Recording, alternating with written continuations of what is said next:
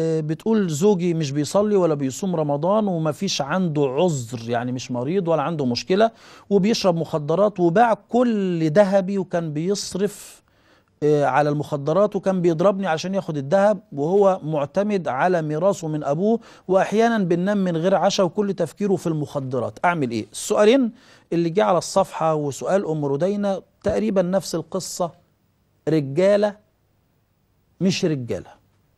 لما تبقى حضرتك في شكل راجل لكن عايش عشان تشرب مخدرات وتشرب برشام وبعدين تاخد ذهب مراتك وتبيعه. ولو ما ادتكش الذهب ده تضربها وتاخد الذهب غصب عنها ده اسمها بلطجة وسرقة وسرقة بالإكراه كمان.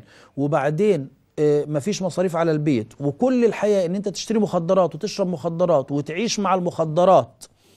ومعتمد على ميراث أبوك و...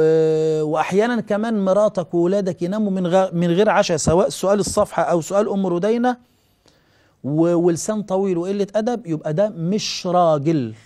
ده كده مش راجل. والست اللي تتحمل واحد زي ده بيسرقها وبيضربها وبياخد حاجتها وما بيأكلهاش بيصرفش عليها ولا على عيالها وعايشة معاه طب عايشة معاه ليه؟ مستمرين في الحياة ليه؟ طب بنسأل النهارده ليه؟ يعني عايزين يكون رد السؤال إيه؟ أنتوا محتاجين حد يقول لكم لازم ناخد وقفة؟ محتاجين حد يقول لكم الحياة دي مش هتنفع؟ ما فعلا الحياة دي كده مش نافعة. لازم ناخد موقف ولازم نعمل وقفة ولازم يبقى في لحظة كده نقف مع بعض. هنتعدل نتعدل مش هنتعدل كل واحد يروح لحاله. الأساس في الحياة الزوجية السكن والمودة والرحمة. ولا في سكن ولا في مودة ولا في رحمة ولا في راجل. أمال إحنا عايشين عشان إيه؟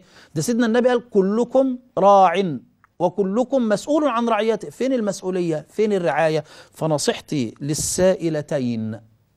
لازم نقف وقفة ونحط النقط على الحروف. يا يتعدل ويبقى راجل يا إما كل واحد يروح لحاله.